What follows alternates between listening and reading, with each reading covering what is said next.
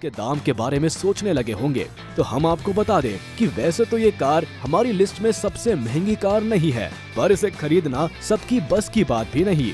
ये car 0 to 62 miles per hour सिर्फ़ 3.4 second में पिकअप लेती है और हवा से बात करती इस गाड़ी की रफ्तार 200 माइल्स पर आवर है। इस कार में 4.5 लीटर का V8 इंजन है, जो 600 हॉर्स पावर जनरेट करता है।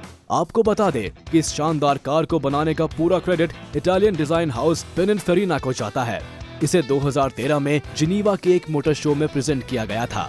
तो अब आखिर आपको इसके दाम बता ही दे। इस गाड़ी की कीमत 3 मिलियन अमेरिकन डॉलर्स यानी 22 करोड़ 60 लाख चौतीस हज़ार सात सौ रूपए है।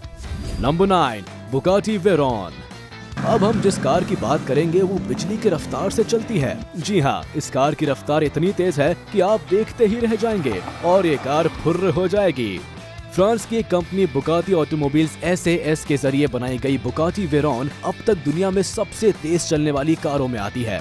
इस कार की स्पीड, मॉडल और फीचर्स देख के अच्छे अच्छों के होश उड़ जाए।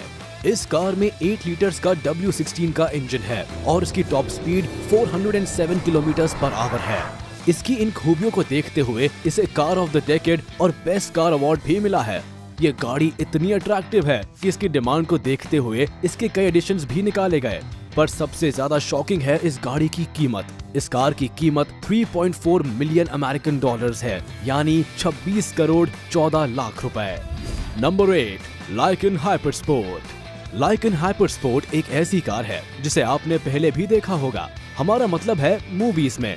जी हाँ ये वही कार है जिसे the fast and furious seven में इस्तेमाल किया गया था। अब जिस कार का इस्तेमाल इतनी बड़ी मूवी में किया गया हो, उसका पॉपुलर होना तो वैसे भी बनता ही है।